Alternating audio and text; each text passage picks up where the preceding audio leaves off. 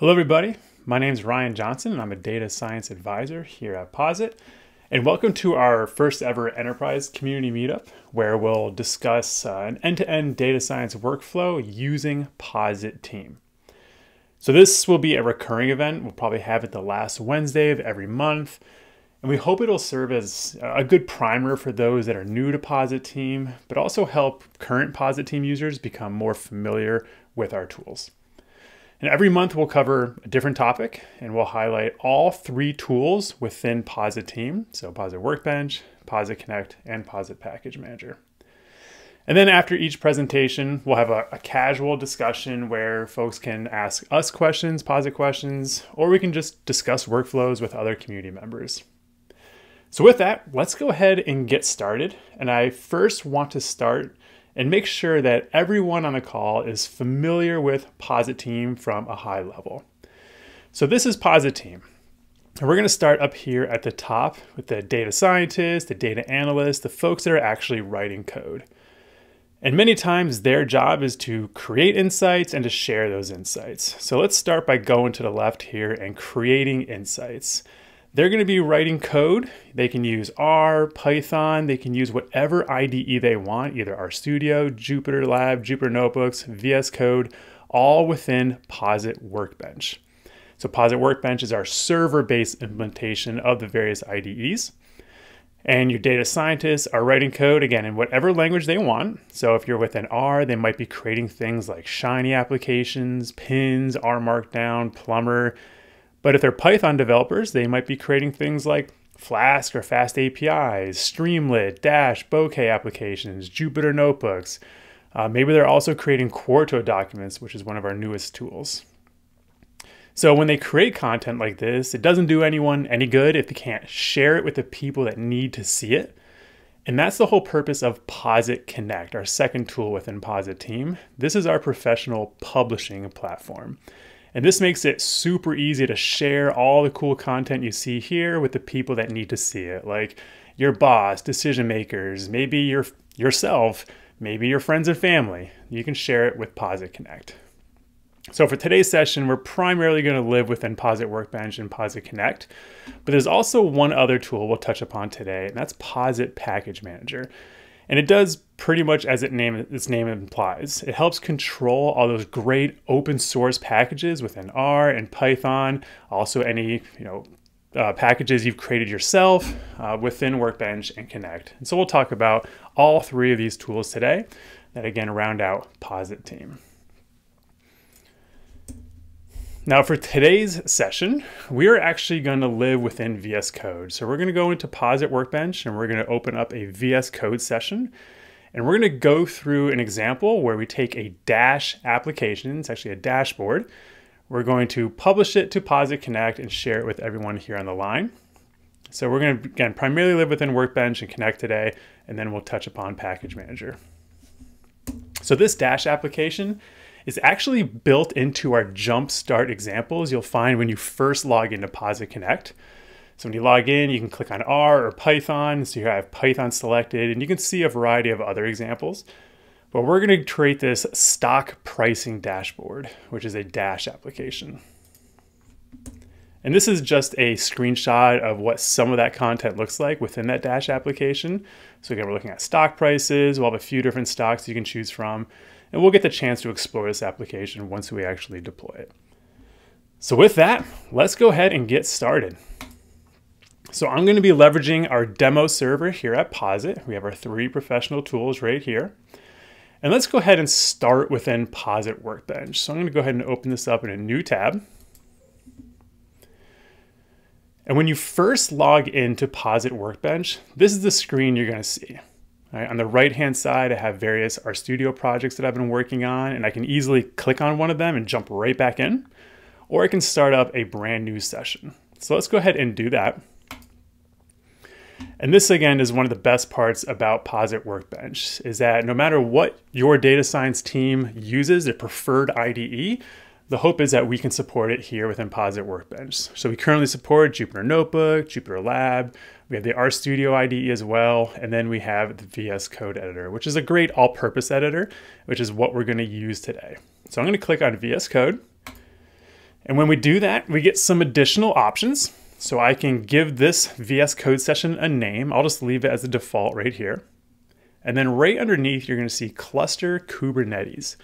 Now, to tell you a little bit more about our demo environment here at Posit, it is all hosted in AWS, Amazon Web Services, and it's in a high performance computing cluster, an HPC environment. And that environment is managed using something known as Kubernetes. So some of you may have heard of Kubernetes. That's one of these um, HPC managers that we support. If you also use Slurm, we can support that as well. Or you can also just run these tools on a single server. That's totally fine as well. But one of the advantages of using Kubernetes or Slurm is you can actually control this job's CPU and memory allocations. So if you just have like a small job, you want to maybe create a plot or a simple application, you can keep the CPU low, keep the memory low, and that's just great for managing compute resources. But if you have a higher compute or more demanding job, I can bump that up, for example. I can change the memory as well. So really good at managing resources. Then you'll see this last box right here. And this is uh, the image box. So I have the option to choose a specific Docker image here to deploy this session. So that can help control additional environment uh, variables, uh, things like uh, what R versions are available, Python versions, what packages are installed by default. That can all be controlled using uh, various Docker images. But I'll just stick with the default for right now. That all looks good. Let's go ahead and start the session. So once I do that, you can see this session is starting. And one of the other advantages of Posit Workbench is if I want to start another session at the exact same time, I can do that. I can have more than one VS Code session going. I can have an RStudio session going. I can have a Jupyter, we'll open a Jupyter Notebook session going. And this is a great way if you're working on multiple projects using different languages and different IDEs, you can have them all going simultaneously and easily switch between the four that I've created here. So we're going to open up this first VS Code session you can see down here at the bottom. And we'll just have that ready once we get the Dash application going here. All right, so here's VS Code, again, running on Posit Workbench. On the left-hand side, we see my File Explorer, and I've already created a blank directory. There's nothing in it. I just called it Quick Start. And this is where we're gonna house that Dash application we're eventually gonna deploy. And then we have that Get Started guide that pops up. I'll go ahead and just close out of that.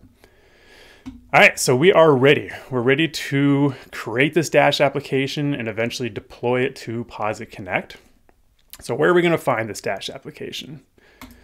So coming back to our demo environment of Posit team here, we've already started within Workbench. Let's go ahead and open up Posit Connect.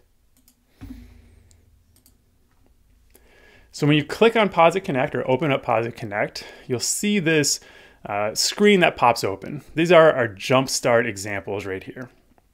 And you can see there's a variety of content for um, R related content. So R Markdown, Parameterize R Markdown, Plumber API, Shiny Apps, Pins. Um, you can choose any of these to get started. You can also select various Python content that's supported by Connect. So Jupyter Notebooks, Dash, Bokeh, Streamlit, uh, various other ones, Python Shiny application, which is one of our newest um, supported applications. But we're for today's uh, demo, we're actually going to stick with the stock pricing dashboard. And probably for future sessions, um, we'll probably focus on some of these other Jumpstart examples. But we thought this would be a great place to start. So we're going to go ahead and we're going to uh, send this, uh, download this Dash application. We'll put it on Posit Workbench and then we'll deploy it to Posit Connect. So let's go ahead and get started. So with the Jumpstart examples, the first thing that we need to do is we need to download the files for this Dash application. So we have a nice download button. I'm going to download it to my computer. And then I'll click on next right here. And it says to unzip this file that we just downloaded locally. And then we can um, basically move on to the next step. But I'm going to go ahead and open this up within Posit Workbench. So let me switch back over to VS Code, again, running within Posit Workbench. I'm going to grab that file that I just downloaded and I'm going to drag it over here to my file directory. And now we have that zip file that I just downloaded from that Jumpstart example within VS Code on Posit Workbench. Now, the first thing we need to do is unzip this file and gather all of its contents. And we're going to do this using the terminal. So I'm going to click on this button, the top left corner. I like to call it a burger button. Click on that, and you'll see terminal, new terminal. All right, if I do print working directory just to see what directory I'm in, you can see I'm in that quick start directory. And if I do ls to list all the files in that directory, it just has that single zip file. So let's go ahead and unzip it. So I'm gonna run unzip, and then we'll just give it the name of that zipped file and hit enter. And that's actually going to, uh, when it unzips, the contents is within a separate directory called stock dashboard Python. So I'm going to go ahead and navigate into that directory. So cd to change a directory, stock dashboard Python. Now I'm going to clear my screen. I can do that on my keyboard using Control L. If I do print working directory now, you can see I'm within that directory, that file that we just unzipped. And I can click on it right here and we can see all the contents. And right here, app.py, this is the Dash application that we are going to run and deploy to Posit Connect. All right, so let's come back to Posit Connect and keep working our way through those steps through the Jumpstart example.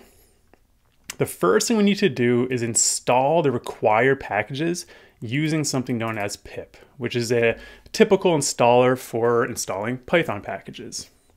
And we're going to use pip to install all of the packages that live inside this file, requirements.txt. So let me come back to VS Code and just show you what that file looks like. So over here on the left-hand side, you can see requirements.txt. These are all the libraries, the Python libraries that I need to basically run this Dash application and the necessary versions. All right, so this is kind of a, a good for uh, my environment, making sure that all these are present to appropriately deploy this Dash application. So let's go ahead and make sure all these packages are there. I'm going to copy this command from the Jumpstart example, come back to VS Code, hit paste, and enter. And it's going to print some logs to my screen. You can see a lot of these say requirement already satisfied. So that's good. It looks like that these packages, for the most part, were already present in my environment. But I want to take a quick pause here and I think it's worth noting or trying to determine where am I actually looking when I go to install these packages. And that's where Package Manager, Posit Package Manager is going to come into play. So if you look on this line right here, looking in indexes, it provides a URL. This is actually a URL to our demo Posit Package Manager instance. So let me come back to our demo environment and let's explore Package Manager a little bit. Now, for the most part, Package Manager is a tool used by your system administrators or IT team to help set up the package environment for Workbench, for Connect, for your developers. But there is a user interface that developers can log into and see what packages are available to them. So let's get started. So here's the user interface, and I first want to have everyone take a look on the left-hand side. Over here, you can see various R repositories that are set up in this instance of Package Manager. So things like a CRAN mirror, for example, or any internally developed R packages. We also can serve bioconductor packages. So if anyone's doing any genomic analysis, high throughput data, uh, sequencing data analysis, you might be familiar with bioconductor. But for today's demo, we're gonna focus in on Python repos. And there's currently two in this example package manager instance. We see PyPI and local Python. So just to describe what local Python is, if you're creating any of your own Python packages and you want to share them with your team, you can upload them to your instance of Package Manager and make it super easy for anyone else on your team and your company to leverage that package. And then you see PyPI. And PyPI is one of the largest repositories for Python packages, and you can explore all the various packages currently within PyPI. So for example, I can search NumPy, which is a pretty popular uh, data science package within Python. We can get some information about it, like how to install it, what it requires. So Python version has to be greater than 3.8, what's the most recent version, and some other information as well. But how do I pull in NumPy from this instance of Package Manager from this PyPI repository. So by selecting PyPI, you can see the name right here in the top left corner, we're going to go to the Setup tab and talk a little bit more about how to leverage Package Manager. So I'm going to scroll down just a little bit here. And you're going to see this URL. Use this URL to receive the latest source packages. So when you go to install a package, if you install from this URL, it's going to pull in from this repository on your instance of Package Manager. And for example, this is our, again, our demo environment of POSIT Package Manager. And then to just note a few other cool things you can do with Package Manager, you can see in the path here, latest. By using this URL, I'm always going to pull in the latest and greatest version of NumPy, for example. But maybe that's not exactly what you want to do. Maybe you have a project that you worked on, you know, a year ago, and you want to go back into that project and you want to install packages as they were a year ago. And that's where this calendar comes into play. So I can go all the way back, let's say December 1st, 2021.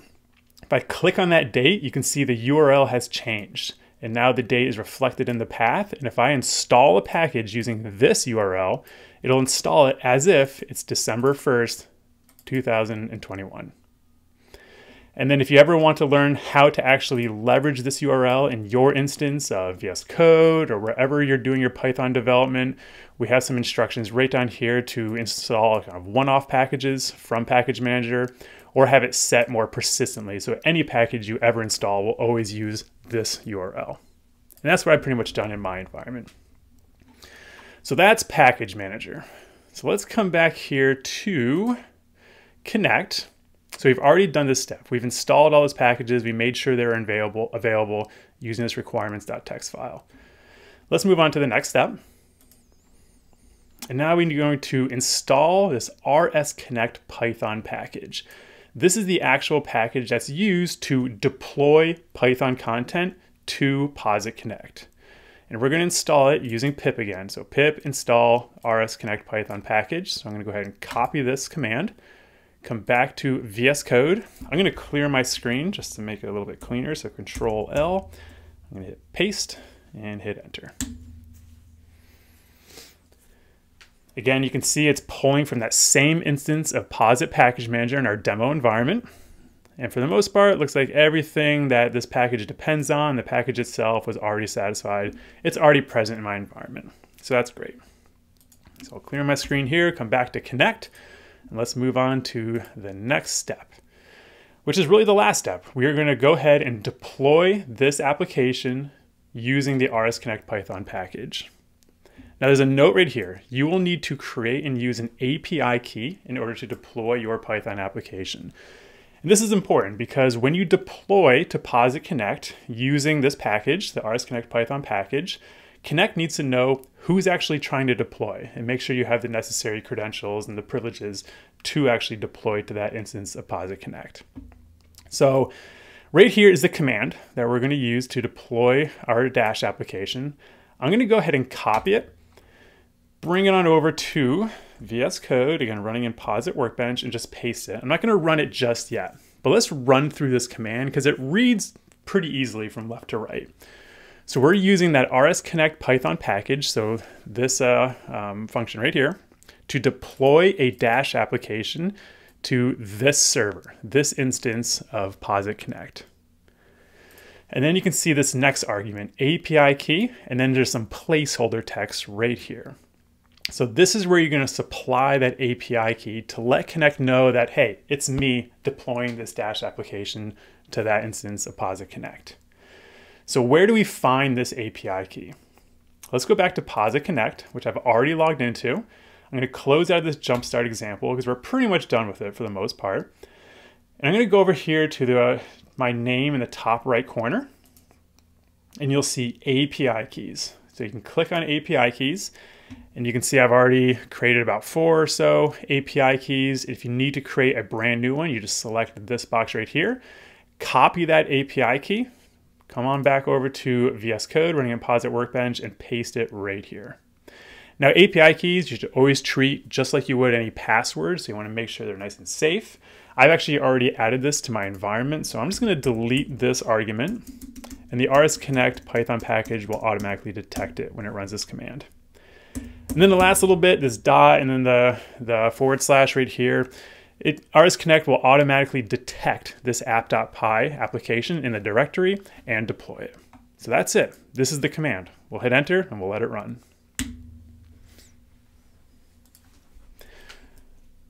So it looks like I may have, so let me just check the print working directory. Let's try the command one more time.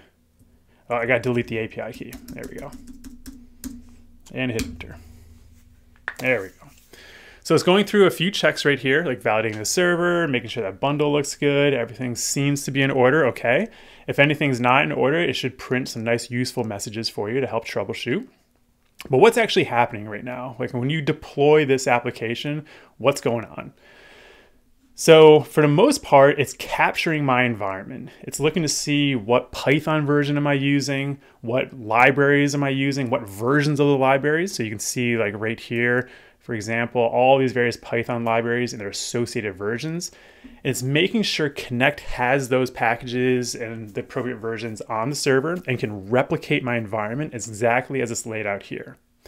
Once it's established, it can, it then deploys that Dash application. So you can see deployment completed successfully. And then it gives me two links right here. We'll select that top one. I'll click on this. And it's going to bring us right to Posit Connect.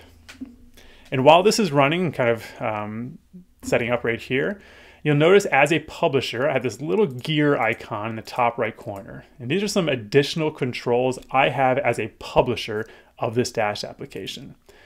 But here it is. This is the Dash application now hosted on Posit Connect. And we can try it out. We can hover our mouse over here, some of the plots. You can see a little pop-up. I can choose uh, another stock. So let's try Google. You can see that one pops up as well. Scrolling down is a few other interactive plots and visualizations. So here I could uh, zoom in on a specific date. Uh, this plot's pretty cool. I can select certain points and you can see those points being selected in the companion plot right to the left here, uh, kind of a cool crosstalk feature. And then we also have a table over here as well. So this is the Dash application. Now, again, as a publisher, I have some additional controls. And the most important thing is I'm a publisher. How do I then share it with the people that need to see it? And that's going to be right here under access controls. Now we have it set by default to specific users or groups. And if you look right underneath, you can define those users and groups right here. I'm currently the only one that can view this content. But let's say, for example, I want to give Rachel access. Now we would be the only two that can view this content. So really tight control over who you want to share this application with, which is great, especially if you have any sensitive data. But we can be a little less strict. So if you look at the middle option right here, all users login required. If I select this, basically, as long as you can log into the Connect instance, you can view this content. So here at Posit is our demo environment. That's pretty much all Posit employees they can log into the Connect instance, they can view it. But we can be even less strict and select anyone, no login required. And if I do that, basically this application, this dashboard we created when hosted on Connect is opened up to the world. So if anyone has this URL on the top of the screen you see right here, they can view this content. Now, if you look at this URL, you can see it's not the prettiest URL, just some random letters and numbers up here. We can change that we can give this a more customized URL. So I can come down here to content URL and I can just say dash app and hit save. And now we have this customized URL at the bottom of my screen, which we can then share with the world and anyone can view this content. So let's talk about a few of the other options you have. Again, as, as a publisher, you have tight control over this Dash application. And the next one we'll go to is runtime. And this is where you can control the compute resources or Python processes supporting this application. If it's a real lightweight application, doesn't require a lot of compute power, you can keep it very low. But if you have an application that's maybe crunching some large data or training a model, for example, you might want to allocate some additional Python processes. So there are Python processes supporting this application while it's running. We can define a minimum number of processes. A maximum, which you can see here, is set to three. And then you have max connections per process. Now, if I share that link with somebody and they click on that link, they become a connection to this application. So by default here, I can have up to 50 connections and up to three processes. So I can support up to 150 concurrent users. Now that may be perfect for what you need. Maybe you want to tweak it and you can do that again as a publisher. You don't have to worry about your administrators and talking to them and configuring it. You can do it as a publisher. So for example, I can come in here and I can give it 10 more additional processes. And then in this configuration, I can support up to 500 concurrent users. So 50 connections per process and up to 10 processes. So again, that's how you can control it as a publisher. A few additional options here along the top, the scheduling tab. This actually does not apply to interactive content, so things like Dash, Streamlit, Bokeh, or within the R ecosystem like Shiny applications. So scheduling jobs doesn't necessarily apply to uh, interactive content. But if you are deploying things like R Markdown or Jupyter Notebooks or even Quarto documents, you can actually place code in those documents and schedule them to run. So this is great if you have any recurring jobs, maybe every morning when you come in, uh, you can actually um, place them into any of those documents I just mentioned, host it on Connect, and you can schedule it to run however frequently you want. And then just to round out the last two here, tags is just for organizing your content. So if you have maybe a study or a project you're working on, and there's a variety of pieces of content associated with that project, you can create a tag to help easily organize and pull up that various content types. And the last one here is VARs. If your content requires some type of privileged access to like a database or an API, for example, you can come into the VARs uh, tab right here and supply that password or API key so the application has those credentials to access you know, that database or API, for example. All right, so that's pretty much it. And just to recap again, what we did today, we started in Posit Workbench, we created that VS Code session, we downloaded the Dash application from the Jumpstart example hosted in Connect, so that's stock example. And then we went through the process of deploying that application to Posit Connect and then sharing it with the world. And as we did that, we were installing packages from our instance of Posit Package Manager. So hopefully this Posit Team overview was helpful, and we're just going to go ahead and open it up to any questions from the audience, general discussion, uh, and we'd be happy to answer any questions anybody has.